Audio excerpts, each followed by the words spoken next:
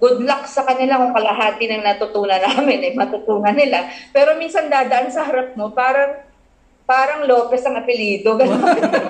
Writer. E-H. Studios. Studios. minsan nga may makikilala ako mas bata sa atin, yung mga parang in-expect nila kilala mo na sila dahil artista sila. Eh, minsan parang feeling ko kahit, nung, hindi naman lahat, syempre may iilan lang. Pero kunyari kahit sa ABS noon, kaya may Christmas special kami, ganyan. May dadaan sa harap mo, yung parang wala lang. Eh kami, lumaki na, pag nakikita namin yung senior sa aming mga artista, yung miski paano nag-good evening ka, nagpupugay ka.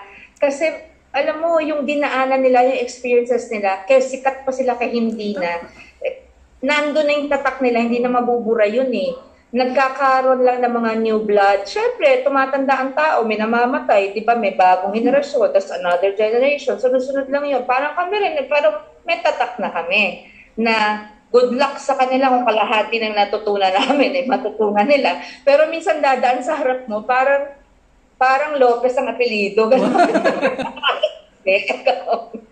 Hindi ka ba napipikon pag ganun? Kasada ko pag ganun. Pero meron ako, yung mga nakaka kung sino pa yung mga sikat ngayon, sila yung mababait.